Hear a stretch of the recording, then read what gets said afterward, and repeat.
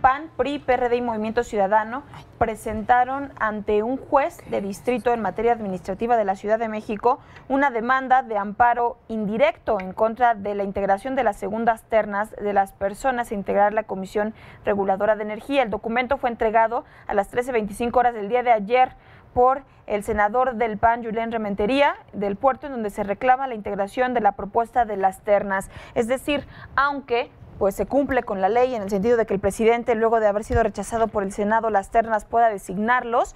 Lo que está señalando la oposición es estas ternas, o en esta segunda envío de ternas, pues se repiten los nombres y eso hay que, hay que frenarlo. Para platicar y abundar de ello, saludamos en la línea telefónica con mucho gusto al senador Mauricio Curi, el ex coordinador del grupo parlamentario del PAN en la Cámara Alta. Muy buenas tardes, senador, gracias por estar con nosotros. Bueno, bueno. Buenas tardes, senador, ¿nos escucha? Perfectamente, muchas gracias. Aquí a la orden.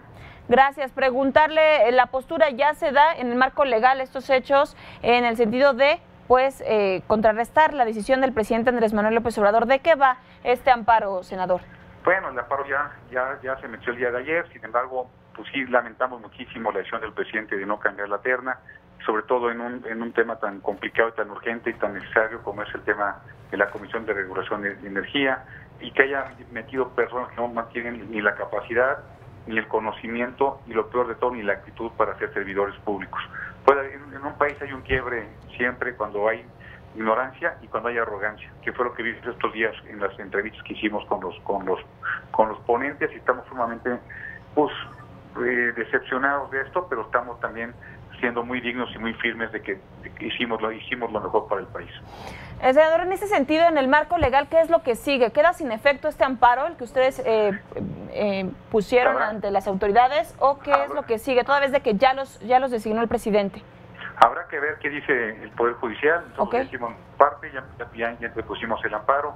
Ahora viene el Poder Judicial que decida y a ver si no es una causa, quizás es un tema que ya causó efectos, quizás eso ya lo pueden separatar, pero nosotros ya hicimos lo que nos correspondía. finalmente, ¿qué respondería a lo que señala el presidente Andrés Manuel López Obrador, que dice es un orgullo que se haya rechazado dos veces la terna porque esto no había pasado antes, significa que hay algo distinto? ¿Cómo, cómo lo toma? No, definitivamente, eh, por supuesto que no coincido con el presidente.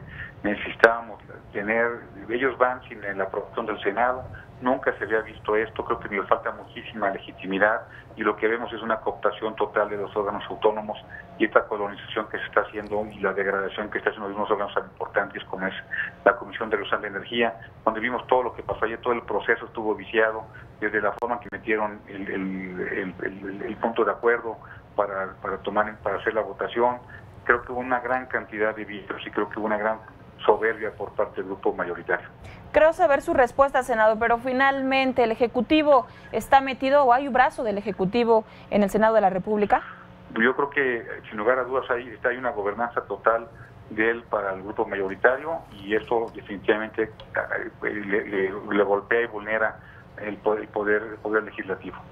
Senador, le agradecemos, nos tome la llamada, sabemos que tiene mucho trabajo en la Cámara, estamos al pendiente y en comunicación. Encantado, cuando disponga, muchas gracias. Muy buenas tardes, es Mauricio Curi, coordinador del Grupo Parlamentario del PAN.